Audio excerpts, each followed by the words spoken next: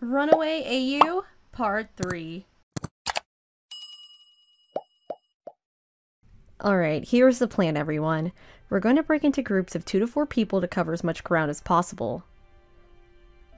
I drafted up a list of terms and what area I need you to cover. We'll start with Team 1, Ivan and Mylène. You both will head towards the scene and search around that area. Alix, Rose, and Juleka, you will be covering the Eiffel Tower. Chloe, Sabrina, Kim, you got the Louvre. Nino, Marinette, and I will start heading towards. Marinette? Mm-mm. Yeah, sorry. We're going to be heading towards the park. How does that sound? That sounds good. I just need to go home first. I shouldn't be too long. That's alright. Whatever you need, girl. You're home early, honey. Yeah, class got canceled today.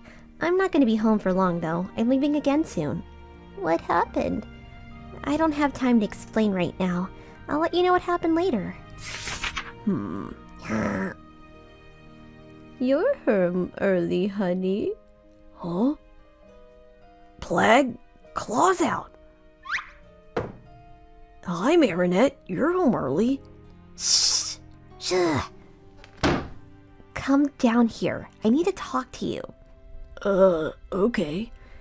I think there's something you need to tell me. First, you show up to my house unexpectedly. Then I find out Adrien Agreste has gone missing.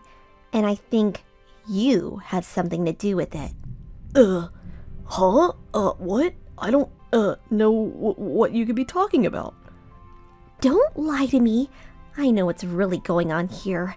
You, you, you kidnapped Adrien, didn't you? That's why you can't be a civilian. The police are looking for you. You locked him in your basement. That's why you can't tell me what's going on.